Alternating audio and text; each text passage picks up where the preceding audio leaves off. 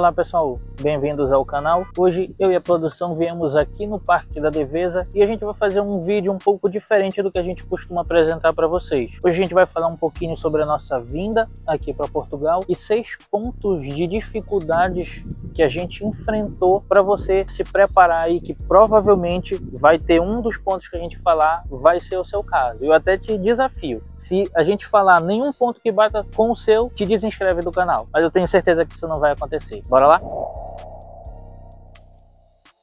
Olha, o primeiro ponto, e é um dos que mais impactam, é a ansiedade. E o que, que eu falo para vocês? Quando a gente decide vir para Portugal, vocês provavelmente estão vendo esse vídeo porque vocês gostam de consumir conteúdo daqui. Então a gente fica naquela de procurar vídeo, procura vídeo de cidade, procura vídeo de preço, e quanto mais vai passando, mais vai aumentando a ansiedade. Na hora que você decide eu vou para Portugal, você já fica com vontade de ir no outra, na outra semana comprar passagem e já vir para cá. Isso aconteceu comigo com a produção produção, a gente fez um processo quando a gente decidiu vir para cá, para realmente a data que a gente comprou a passagem foi uma data longa, né, do início ao final para chegar aqui. E como é que a gente conseguiu vencer essa etapa da ansiedade com o planejamento? E é isso que eu aconselho a vocês. Marque no seu planejamento a data que você quer ir e o que você precisa fazer para chegar bem aqui. No caso, comprar passagem, quando você vai comprar passagem, é, de dinheiro, quanto você pensa em economizar para vir para cá. Fazendo planejamento, por mais que você fique com muita vontade de vir para cá, você consegue controlar um pouquinho esse sentimento que muito atrapalha a gente na hora da mudança. Olha, outro problema que você pode encontrar na sua viagem para cá é o financeiro. Inclusive, eu recebo muitas mensagens aqui de pessoas, Álvaro, eu tô com 2 mil euros, dá para eu viajar? E eu já até tenho um vídeo de custo de vida aqui para um casal, para uma pessoa solteira, que chega ali na faixa de mil euros. Ou seja, uma pessoa com 2 mil euros, em dois meses acabou o dinheiro dela. Então você vai chegar aqui e já vai ter que sair desesperado por um trabalho, e isso pode acabar fazendo com que esse seu primeiro momento, os seus primeiros passos aqui em Portugal, já sejam um pesadelo, porque você vai ficar com aquela pensando toda hora, ah, meu Deus, eu preciso arranjar um emprego, preciso arranjar um emprego, senão não vou ter dinheiro, vou ter que voltar para o Brasil. Então é bom você fazer um planejamento financeiro Tá? Pegue aí quantos meses você ainda tem até a sua viagem aqui e saia guardando todo mês um pouquinho. Inclusive, foi o que eu e a produção fizemos. Tinha uma casa de câmbio do ladinho do meu trabalho, então todo mês eu tirava uma parte do meu salário, ia lá, comprava em euros. Então facilitou muito, porque quando, na nossa mudança para cá, como a gente fez um planejamento de praticamente 3 para 4 anos, todo mês eu comprando euros, a gente conseguiu trazer um valor considerável e chegou aqui com tranquilidade. Então tome cuidado com a parte financeira, porque ela pode sim fazer a sua viagem, a sua mudança se tornar um pesadelo. Mais um ponto de dificuldade que você vai ter, que parece até é, brincadeira, é abrir conta em um banco português. Para quem não é do Rio ou de São Paulo, que tem um escritório do Banco Milênio lá, para quem mora em outras regiões, fica um pouco difícil de abrir conta. Hoje os bancos eles não estão abrindo de forma digital, tá? Normalmente você precisa já ter um comprovante aqui de Portugal mesmo ou a manifestação de interesse. Eles exigem isso. A maioria dos bancos aqui em Portugal exige isso. Ou seja, você que está no Brasil, está fazendo seu planejamento,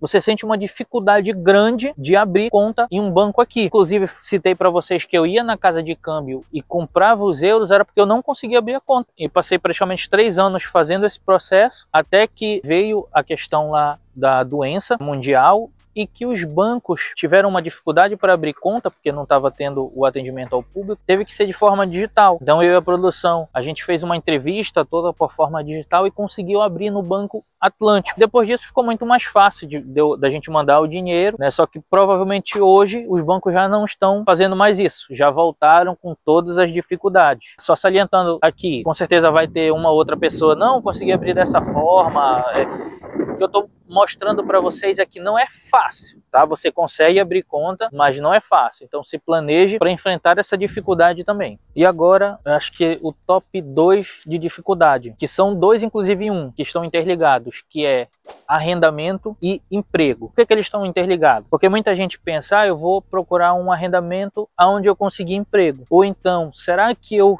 arrendando naquele lugar eu vou ter emprego? Então eles estão juntos, unidos de mão dada essas duas dificuldades. Eu e a produção, quando a gente fez a nossa pesquisa de cidade, a gente se importava muito se o local tinha emprego, e eu tenho certeza que também acontece com a maioria de vocês isso. Vocês procuram regiões que tenham polo industrial, que tenham um turismo grande, que é exatamente aumenta as chances de você ter uma oferta de emprego e que você possa trabalhar. Claro que tem pessoas que já vêm com aposentadoria, que já procuram cidades mais praianas, mais muito voltadas para o turismo e que querem apenas descansar. Mas eu acho interessante na busca de vocês, vocês levarem em consideração isso. Inclusive aqui no canal, quando a gente visita uma cidade, eu mostro polo industrial, falo um pouquinho sobre empregos, exatamente porque eu sei que quando vocês procuram uma cidade, vocês querem ter esse tipo de informação. Então, se você está gostando do conteúdo, deixa o like aqui, se inscreve no canal e deixa um comentário aqui para eu saber que cidade vocês estão pensando hoje em vir morar aqui em Portugal. Quero saber se tá, vocês estão querendo mais para o norte, mais para o sul, para eu ter uma noção de que cidades vocês buscam. Ah, e fazendo um parêntese na dificuldade do arrendamento.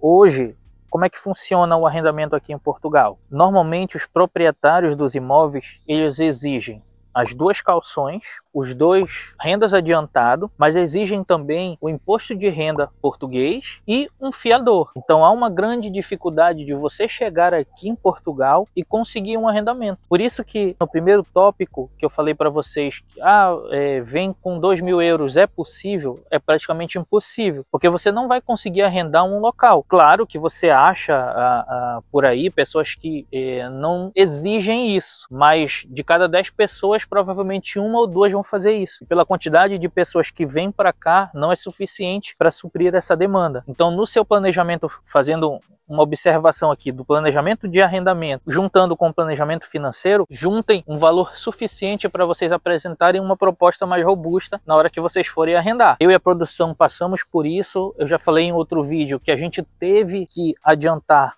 14 meses é, o que o seu Madruga devia lá para o seu Barriga no Chaves. 14 meses de aluguel a gente teve que pagar, os 12 meses o ano inteirinho e mais dois meses de calção, porque quando a gente visitou o apartamento já tinha outras três propostas, inclusive iguais, da pessoa apresentando 12 meses e mais as duas calções. Então, para vocês verem como está a concorrência de arrendamento. E ah, faço uma, uma outra observação para vocês: se vocês tiverem alguém da confiança de vocês que faça relocation, dependendo de valores, eu acho interessante interessante vocês verificarem essa possibilidade para chegar com a família de vocês já com um local para arrendar. Não estou falando isso porque eu faço relocation.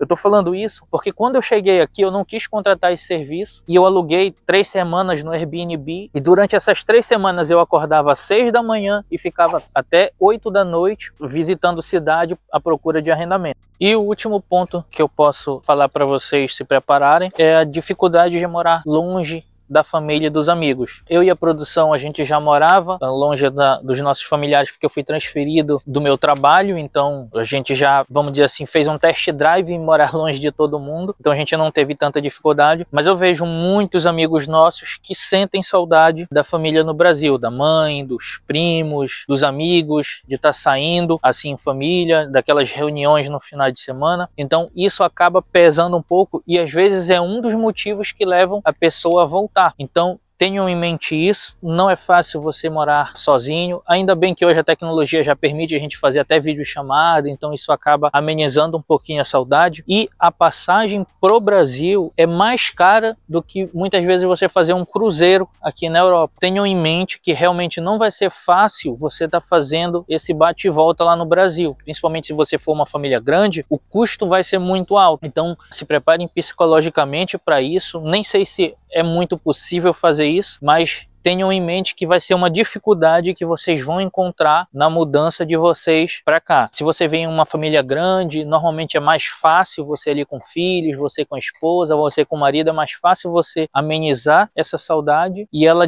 é, é fica mais difícil se você vem sozinho. É mais um ponto para vocês terem atenção. Esse vídeo foi mais um, um, formato de conversa, um formato como se fosse um podcast. Se você quiser, pode até só ouvir o vídeo, não precisa estar tá vendo as imagens. Foi mais um, um, um vídeo para a gente conversar um pouquinho, se aproximar, ver que a gente também tem dificuldade que a gente enfrenta, não é tudo um mar de rosas aqui, então a gente tem umas dificuldades na nossa mudança e para vocês se prepararem. Espero que eu tenha ajudado alguém com esse vídeo, já vou ficar muito feliz. A produção também está mandando um abraço e até o próximo vídeo.